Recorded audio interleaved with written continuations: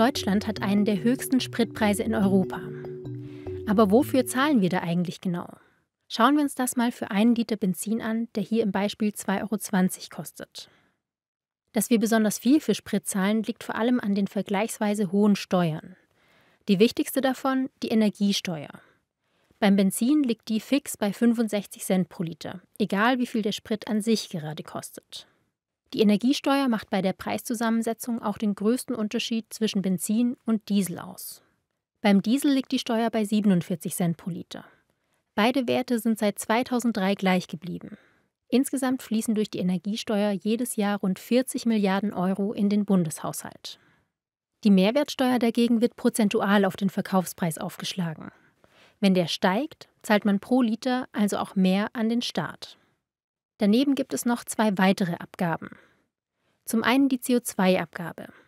Die macht beim Benzin etwa 8 Cent pro Liter aus und fließt in einen Fonds, der die Energiewende fördern soll. Und dann ist da noch der Beitrag an den Erdölbevorratungsverband. Rund 0,3 Cent. Die restlichen Kosten lassen sich nur grob aufschlüsseln. Am teuersten ist das Rohöl an sich, aus dem der Kraftstoff hergestellt wird. Dazu kommen die Verarbeitungskosten und die Gewinne der Raffinerien und schließlich die Kosten für Vertrieb und Transport. Bei den Tankstellen bleibt nur ein kleiner Teil hängen. Aral zum Beispiel gibt als Ziel 1 bis 2 Cent Gewinn pro Liter an. Und warum schwanken die Spritpreise oft so stark? Dafür gibt es mehrere Gründe. Großen Einfluss hat der Rohölpreis. Politische Krisen, Kriege oder auch Naturkatastrophen lassen den schnell mal hochschnellen. Aber auch die generelle Nachfrage und das Angebot auf dem Ölmarkt sind wichtige Faktoren. Vor allem die Raffinerien der Mineralölkonzerne profitieren davon, wenn das Angebot knapp und die Nachfrage hoch ist. Dann können sie entsprechend viel Geld für ihre Kraftstoffe verlangen. Außerdem wichtig der Dollarkurs. Denn Öl wird fast nur in US-Dollar gehandelt.